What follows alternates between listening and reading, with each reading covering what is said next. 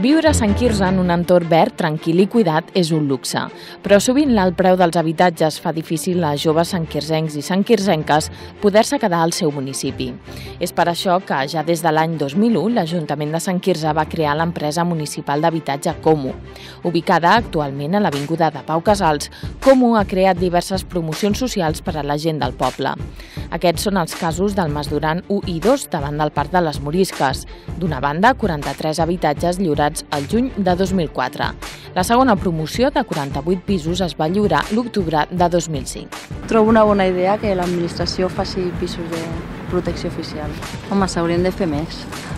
És que realment si no es fa una cosa així difícilment podran tenir accés a l'habitatge, o sigui que o es posen les piles i fomenten això o malament.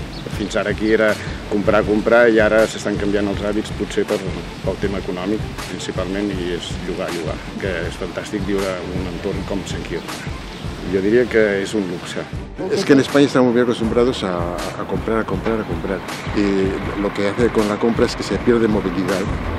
Comu també ha treballat una promoció de 18 habitatges de venda i 7 de lloguer a Cantosset.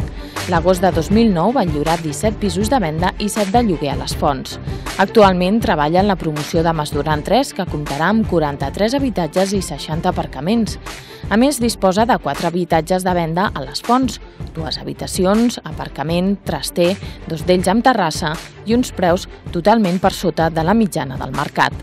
Per optar a la propietat d'aquests pisos cal contactar amb Comu, que no només gestiona la construcció d'aquests habitatges, sinó que també funciona com a punt d'informació de l'Agència d'Habitatge de Barcelona, tramitant prestacions, contractes de lloguer, ajuts i supervisions de cèl·lules d'habitabilitat, entre d'altres.